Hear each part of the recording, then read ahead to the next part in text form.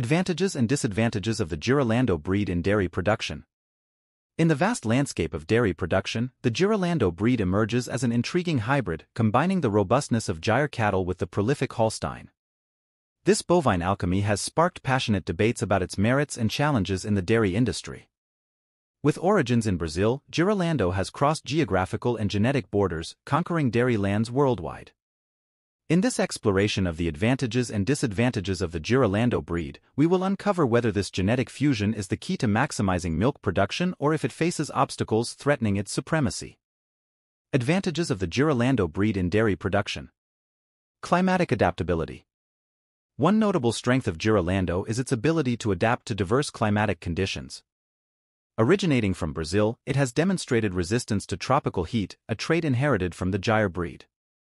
This adaptability allows Girolando to thrive in environments where other breeds may face difficulties. Reproductive efficiency. Girolando is the result of careful crossbreeding between Gyr and Holstein, leveraging the best of both breeds. Its reproductive efficiency is a key advantage, as females have a higher conception and birth rate compared to other breeds. This translates to rapid herd growth and sustained increases in milk production. Longevity and resilience farmers have observed that Girolando exhibits greater longevity and resilience compared to some pure breeds. This durability contributes to the long-term profitability of the dairy operation by reducing costs associated with frequent livestock replacement. Quality milk production. Girolando stands out for its impressive milk production, inheriting the milking ability of Holstein. Additionally, the milk quality is notable, with adequate levels of fat and protein, making it an attractive choice for producers seeking a balance between quantity and quality. Disadvantages of the Girolando breed in dairy production. Specific nutritional needs. Although Girolando is adaptable, its high milk production makes it more demanding in terms of nutritional needs. Producers must pay special attention to feeding and ensure a balanced diet to maximize production potential, which may result in additional costs. Handling issues in extreme environments. Despite its overall resilience, Girolando may face challenges in extreme environments, whether due to extremely cold temperatures or high altitudes.